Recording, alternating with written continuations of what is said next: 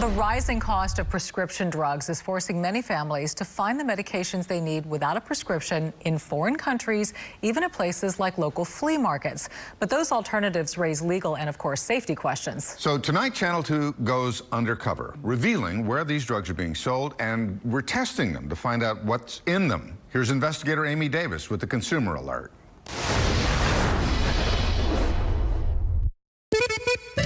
It was a tip call that led Channel 2 Investigates here, roaming the maze of merchants selling Saints and sports jerseys. The White Elephant Flea Market in Channelview has a little of everything.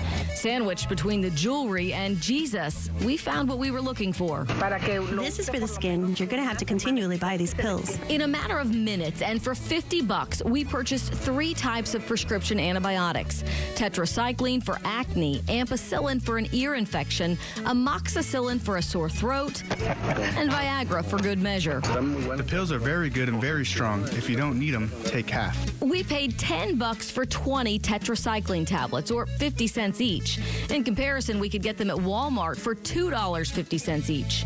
The real problem is you have no idea what's in these medicines. Associate Special Agent in Charge Jeffrey Scott with the Houston Division of the Drug Enforcement Agency says his office doesn't regulate these antibiotics because they're not considered narcotics.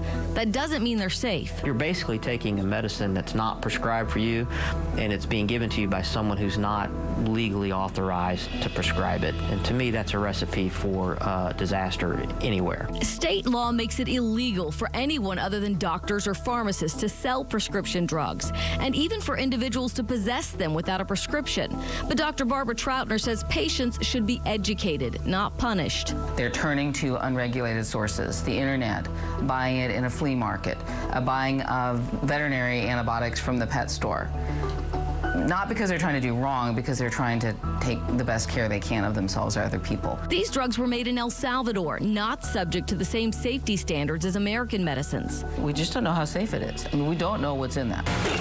To find out, we took the drugs to Expertox Lab in Deer Park. They are very potent. Owner Dr. Ernest Lykissa confirmed these drugs are what the vendors told us they are and the correct strengths. But there are other concerns. He said test results show elevated levels of metals like magnesium in the tetracycline and ampicillin, and magnesium and aluminum in the Viagra that he said would cause joint pain. We're protected by the FDA. I mean, I don't know who's who's inspecting these medications. Back at the flea market, this woman was full of advice for taking the amoxicillin for ear pain. The first two days, it's every six hours. And then when the pain goes away, it's every eight hours for another two or three days. Tetracycline can cause kidney damage if the drug is exposed to the heat or if it breaks down after it expires. If someone on blood pressure medication takes Viagra, they could have a heart attack.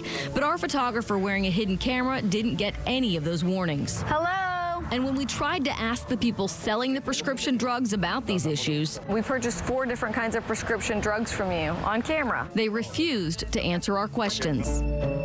The State Board of Pharmacy says it has no authority over the sellers because they're not licensed pharmacists. Local and federal law enforcement are focusing their efforts on opioids and other dangerous narcotics. Doctors say they think the best way to solve this problem is by educating the public of the dangers of taking prescription medicine without a doctor's supervision. I'm consumer expert Amy Davis, KPRC, Channel 2 News.